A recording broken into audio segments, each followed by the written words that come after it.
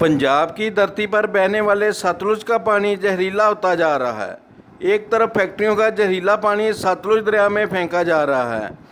दूसरी तरफ़ पाकिस्तान के कसूर शहर के अंदर चमड़े की बड़ी बड़ी फैक्ट्रियों का पानी भारत की ओर बहती सतलुज में बड़ी तादाद में फेंका जा रहा है, जिससे ये सतलुज दरिया का पानी पूरी तरह से जहरीला हो गया है। और ये पानी सतलुज के साथ सटे गाँव के लोगों के लिए तरह तरह की भयानक बीमारियाँ लगने का कारण बन रहा है। वहीं फिरोजपुर प्रशासन ने श्राद्ध के साथ लगते गाँवों के 102 स्कूलों में आरओ सिस्टम लगाने थे। लेकिन प्रशासन की ढीली और लेट लतीफ़ी के चलते अभी तक आरओ सिस्टम नहीं लगे, जिससे अभी भी बच्चे वही पानी पीने को मजबूर हैं। वहीं जब इस बारे में एसडीएम फिरोजपुर हरजीत सिंह से बात की गई तो उन्होंने कहा कि सेहत विभाग की तरफ से सरहदी गांव और सतलुज के तट पर बसे गांवों के सैंपल लिए थे जो फेल आए थे उन्होंने कहा कि रेड क्रॉस की तरफ से 75 लाख रुपए पास करवा लिए गए हैं जल्द ही आर लगवाए जाएंगे ਅ, ਸਰ ਵੇਖਿਆ ਜਾਵੇ ਅ, ਇਹ ਕਿਹੜਾ ਸਕੂਲ ਹੈਗਾ ਵੈ ਕਿੱਥੇ ਲੱਗਦਾ ਵੈ ਇਹ ਮੈਂ government senior secondary school Gatti Rajo Ke ਜੋ ਕਿ ਬਿਲਕੁਲ ਹਿੰਦ ਪਾਕ ਸਰਹੰਦ ਦੇ ਉੱਪਰ ਸਤਲੁਜ ਦਰਿਆ ਦੇ ਕੰਢੇ ਦੇ ਉੱਪਰ ਸਥਿਤ ਸਕੂਲ ਹੈ। ਇਸ ਸਕੂਲ ਦੇ ਵਿੱਚ ਸਰਹੱਦੀ ਖੇਤਰ ਦੇ 14 ਪਿੰਡਾਂ ਦੇ 650 ਤੋਂ ਵੱਧ ਵਿਦਿਆਰਥੀ ਪੜ੍ਹਦੇ ਆ ਲੇਕਿਨ ਜਦੋਂ ਮੈਂ ਇਸ ਸਕੂਲ ਦੇ ਵਿੱਚ ਬਤੌਰ ਪ੍ਰਿੰਸੀਪਲ ਜੁਆਇਨ ਕੀਤਾ, ਤਾਂ ਮੈਨੂੰ ਇਸ ਇਲਾਕੇ ਦੇ ਵਿੱਚ, ਇਸ ਸਕੂਲ ਦੇ ਵਿੱਚ ਜਿਹੜੀ ਸਭ ਤੋਂ ਵੱਡੀ ਸਮੱਸਿਆ ਹੈ, ਉਹ ਪਾਣੀ ਦੀ ਨਜ਼ਰ ਆਈ। ਪਾਣੀ ਦੀ ਸਮੱਸਿਆ ਜਿਹੜੀ ਹੈ, ਉਹ ਇਸ ਏਰੀਏ ਦੇ ਵਿੱਚ ਇੰਨੀ ਗੰਭੀਰ ਸਮੱਸਿਆ ਹੈ ਕਿ ਜਿਹੜਾ ਪੀਣ ਵਾਲਾ ਪਾਣੀ ਹੈ ਇੱਥੇ ਉਹ ਬੱਚਿਆਂ ਨੂੰ ਜਿੱਥੇ ਇਹਨਾਂ ਦੀ ਪਿਆਸ ਬੁਝਾ ਰਿਹਾ ਉੱਥੇ ਅਨੇਕਾਂ ਜਿਹੜੀਆਂ ਨੇ ਬਿਮਾਰੀਆਂ ਨੇ ਜਿਹੜੀਆਂ ਉਹ ਪੈਦਾ ਕਰ ਰਿਹਾ ਤੇ ਮੰਨਿਆ ਜਾਵੇ ਕਿ ਜਿਹੜਾ ਇੱਥੋਂ ਦਾ ਪਾਣੀ ਹੈ ਉਹ ਕਿਉਂ ਗੰਦਾ ਕਿਉਂ ਹੈਗਾ? ਇੰਨਾ ਜਿਹੜਾ ਉਹਦਾ ਈਡੀਐਸ ਦੀ ਮਾਤਰਾ ਜਿਹੜੀ ਕਾਫੀ ਜ਼ਿਆਦਾ ਹੈ ਸੈਂਪਲ ਵੀ ਫੇਲ ਆਏ ਆ। ਦੇਖੋ ਇਹ ਜਿਹੜਾ ਸਰਹੱਦੀ ਖੇਤਰ ਹੈ ਇਹ ਸਤਲੁਜ ਦਰਿਆ ਦੇ ਕੰਢੇ ਦੇ ਉੱਪਰ ਹੈ। ਸਤਲੁਜ ਦਰਿਆ ਦਾ ਜਿਹੜਾ ਪਾਣੀ ਹੈ ਉਹ ਬੇਹੱਦ ਪ੍ਰਦੂਸ਼ਿਤ ਜਿਹੜਾ ਉਹ ਹੋ ਚੁੱਕਿਆ ਜਿੱਥੇ ਸਾਡੇ ਦੇਸ਼ ਦੇ ਵੱਖ-ਵੱਖ ਉਦਯੋਗਾਂ ਦਾ ਪਾਣੀ, ਸੀਵਰੇਜ ਦਾ ਪਾਣੀ, ਇਹਦੇ ਚ ਆਉਣ ਦਾ ਸ਼ੰਕਾ ਹੈ।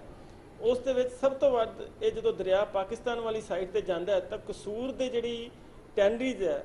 ਉਹਦਾ ਕੈਮੀਕਲ ਯੁਕਤ ਪਾਣੀ ਜਦੋਂ ਸਾਰਾ ਇੱਥੇ ਪੈਂਦਾ ਤਾਂ ਉਹ ਜਿਹੜਾ ਪਾਣੀ ਇੱਥੇ ਧਰਤੀ ਦੇ ਵਿੱਚ ਜਦੋਂ ਆਉਂਦਾ ਹੈ, ਤਾਂ ਉਸ ਪਾਣੀ ਦੀ ਜਿਹੜਾ ਕੋਈ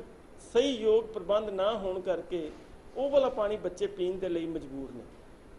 ਜਿਹੜਾ ਹੁਣ ਸ- ਪ੍ਰਸ਼ਾਸਨ ਵੱਲੋਂ 102 ਸਕੂਲਾਂ ਦੇ ਵਿੱਚ ਆਰਓ ਲੱਗ ਰਿਹਾ ਤਾਂ ਮਤਲਬ ਤੁਹਾਡਾ ਮੰਨਣਾ ਇਸ- ਇਹ ਹੈਗਾ ਵਾ ਕਿ ਇਹ ਪਾਣੀ ਜਿਹੜਾ ਗੰਦਾ ਹੈ, ਬੱਚਿਆਂ ਨੂੰ ਲਾਇਕ ਤੇ ਪਰ ਤੁਹਾਡੇ ਸਕੂਲ 'ਚ ਲੱਗੇ ਹੋਏ ਆਰਓ ਦੇਖੋ, ਜ਼ਿਲ੍ਹਾ ਪ੍ਰਸ਼ਾਸਨ ਦਾ, ਸਾਡੇ ਮਾਨਯੋਗ ਡੀਸੀ ਸਾਹਿਬ ਦਾ ਇੱਕ ਬਹੁਤ ਵਧੀਆ ਉਪਰਾਲਾ ਹੈ ਕਿ ਰੈੱਡ ਕਰਾਸ ਵੱਲੋਂ ਇੱਥੇ ਜਿਹੜੇ ਇੱਕ ਸੀਨੀਅਰ ਸੈਕੰਡਰੀ ਸਕੂਲ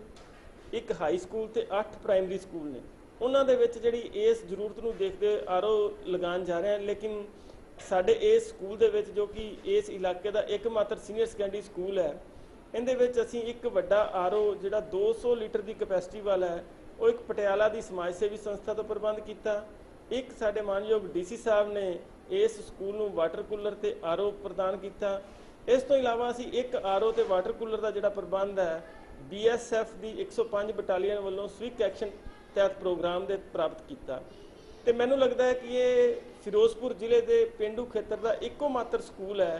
ਕਿ ਜਿਸ ਦੇ ਵਿੱਚ ਇੰਨੀ ਵੱਡੀ ਗਿਣਤੀ ਦੇ ਵਿੱਚ ਬੱਚੇ ਪੜ੍ਹਦੇ ਆ ਲੇਕਿਨ ਸਾਰੇ ਬੱਚਿਆਂ ਨੂੰ ਸ਼ੁੱਧ ਔਰ ਠੰਡਾ ਪਾਣੀ ਜਿਹੜਾ ਹੈ ਇਸ ਗਰਮੀ ਦੇ ਮੌਸਮ ਦੇ ਵਿੱਚ ਜਿਹੜਾ ਉਹ ਪ੍ਰਦਾਨ ਖੁੱਲੀ ਮਾਤਰਾ ਦੇ ਵਿੱਚ ਕਰਾਇਆ ਜਾ ਰਿਹਾ ਤੁਸੀਂ ਮੰਨਦੇ ਹੋ ਕਿ ਇੱਕ ਬੜੀ ਵੱਡੀ ਪ੍ਰੋਬਲਮ ਹੈ ਜਿਹੜੀ ਆ ਪਾਣੀ ਦੀ ਜਿਹੜੀ ਹੈ ਪਿੰਡ ਵਾਸੀਆਂ ਨੂੰ ਵੀ ਕਾਫੀ ਜ਼ਿਆਦਾ ਦਿੱਕਤ ਹੋਏਗੀ ਸਕੂਲ ਦੇ ਵਿੱਚ ਤਾਂ ਆਰਓ ਲੱਗਾ ਹੈ, ਪਰ ਪਿੰਡਾਂ ਦੇ ਵਿੱਚ ਨਹੀਂ ਹੈਗੇ। ਤੁਸੀਂ ਮੰਨਦੇ ਹੋ ਕਿ ਇਹ ਬੜੀ ਵੱਡੀ ਦਿੱਕਤ ਹੈ ਬੜੀ ਵੱਡੀ ਪ੍ਰੋਬਲਮ ਹੈ। ਜੀ ਇੱਕ ਮੈਂ ਸਮਝਦਾ ਕਿ ਪਾਣੀ ਸਾਡੀ ਇੱਕ ਬੁਨਿਆਦੀ ਜ਼ਰੂਰਤ ਹੈ ਮੁੱਢਲੀ ਜ਼ਰੂਰਤ ਹੈ। ਤੇ ਮੈਂ ਸਮਝਦਾ ਕਿ ਇਸ ਇਲਾਕੇ ਦੀ ਜਿਹੜੀ ਪਾਣੀ ਦੀ ਜਿਹੜੀ ਸਮੱਸਿਆ ਇੱਕ ਬਹੁਤ ਵੱਡੀ ਗੰਭੀਰ ਸਮੱਸਿਆ ਹੈ। ਇਹ ਇਕੱਲੇ ਬੱਚਿਆਂ ਦਾ ਤਾਂ ਸਮੱਸਿਆ ਦਾ ਅਸੀਂ ਹੱਲ ਕਰਤਾ, ਲੇਕਿਨ ਇਹ ਪਿੰਡ ਵਾਸੀਆਂ ਦੇ ਲਈ ਵੀ ਇਹ ਇੱਕ ਸਮੱਸਿਆ ਹੈ ਔਰ ਇਹ ਸ਼ੁੱਧ ਪਾਣੀ ਜਿਹੜਾ ਪ੍ਰਦਾਨ ਕਰਨਾ ਸਾਡੀ ਬੇਸਿਕ ਜ਼ਿੰਮੇਵਾਰੀ ਹੈ। ਔਰ ਇਸ ਇਲਾਕੇ ਦੇ ਵਿੱਚ ਪਾਣੀ ਸ਼ੁੱਧ ਨਾ ਹੋਣ ਕਰਕੇ ਸਕਿਨ ਦੀਆਂ ਪ੍ਰੋਬਲਮ, ਹੱਡੀਆਂ ਦੇ ਰੋਗਾਂ ਦੀਆਂ ਪ੍ਰੋਬਲਮ, ਦੰਦਾਂ ਦੀਆਂ ਬਿਮਾਰੀਆਂ ਜਿਹੜੀਆਂ ਨੇ, ਉਹ ਆਮ ਪਾਈਆਂ ਜਾ ਰਹੀਆਂ ਨੇ। ਇੱਥੇ ਕੁਝ ਸਮਾਂ ਪਹਿਲਾਂ Baba Farid university of health sciences ਵੱਲੋਂ ਮੈਡੀਕਲ ਕੈਂਪ ਵੀ ਇੱਕ ਬਹੁਤ ਵੱਡੇ ਪੱਧਰ ਤੇ ਲਗਾਇਆ ਗਿਆ ਹੈ ਜਿੰਦੇ ਵਿੱਚ ਡਾਕਟਰ ਵੱਲੋਂ ਇਹ ਵਿਸ਼ੇਸ਼ ਤੌਰ ਤੇ ਕਿਹਾ ਗਿਆ ਹੈ ਕਿ ਇਸ ਇਲਾਕੇ ਦੇ ਵਿੱਚ ਪਾਣੀ ਸਾਫ਼ ਨਾ ਹੋਣ ਕਰਕੇ ਅਨੇਕਾਂ ਸਮੱਸਿਆਵਾਂ ਜਿਹੜੀਆਂ ਨੇ ਉਹ ਪੈਦਾ ਹੋ सर अ, ये तो पानी के सैंपल फेल आए जितने भी बॉडी लिंक इस कि आप लोगों ने क्या क्या किया हमने सैंपलिंग करवाई थी जो कि पानी कंटामिनेटेड होके आता है पाकिस्तान से तो उसके सैंपल फेल आए हैं। हमने उसके लिए 75 लाख रुपीस की जो है अमाउंट रिलीज़ करी है। जल्दी ही टेंडर करवा के हम डीप बोरवेल करवाएँगे और उस पर आर लगवाएँगे ताकि लोगों का सेहत ठीक रह सके। कितने जितने गाँव में जितनी डिमांड होगी पंचायत से लेके हम उतने।